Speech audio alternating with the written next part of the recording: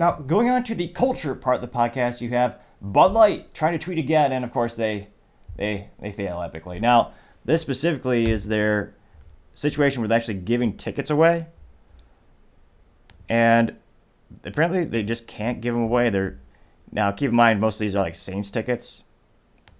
So this is a tweet where they had the whole all the Saints, and I can't help but feel bad for the Saints. I don't know if they this is probably a really long ago contract that they negotiated, and now all of a sudden they have to work with them still.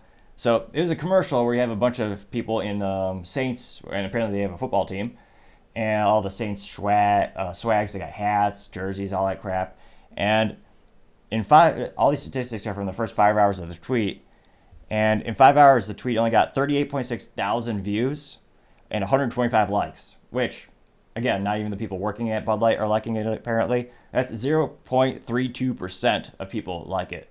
Now, I can only see this because I use my business profile account to actually see the account of Bud Light because they blocked me because I had the audacity of having reply reminders saying when they said like, "Oh yeah, it's time to buy Bud Light," I responded with a case of Yuengling Light and Yuengling Regular with the American flag behind it, saying, "Hey, thanks for the reminder. I just I, I need to go buy buy this." And apparently that hurt their feelings, although still not as bad as censoring my YouTube videos as I can't notice the only time that I have YouTube videos with the comments disabled. One, ironically, is when I criticize YouTube for disabling more contents and disab- disabling ad blockers. And two is like one or two Bud Light videos where I had Bud Light in the title and I critiqued the company. And even more ironic is when I had a video specifically talking about the video that was, that was censored that had the subject of Bud Light. Hilarious, yes, Coincidence? I don't think so. Now, Rich Mooney is a really popular replier to these Bud Light tweets. He does his usual poll where he said, Hey, what are you going to buy this weekend? Are you going to Bud Light or are you going to get an Anheuser-Busch InBev product? He got 72 votes and 92% said no Anheuser-Busch InBev. And then they censored that. So it looks like Bud Light's getting really censored. They're going after everyone. Now, Rich Mooney also to the same tweet he brought up an article where the CEO of InBev, so the parent comp- the giant company, they're saying how they, they, they see the consumer preferences. They had that poll recently, so they think people are coming back. And he said they're very much delusional that CEO is out of touch because, of course, he is.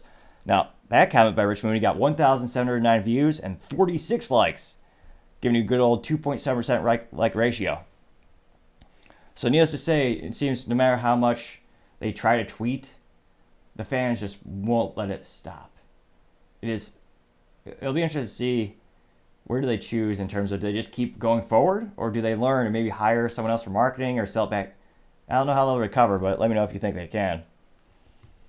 Thank you everyone for taking the time to tune in. Again, we're trying to get to 3,000 subscribers by the end of August, so you can click that button. I'd really appreciate it. Also, don't forget to take the time to leave a comment, like the video. The feedback is greatly appreciated. Also, don't forget to tell your family, tell your friends, tell your coworkers. Heck, Tell your enemies, tell anyone and everyone. Just stay safe, fight the good fight.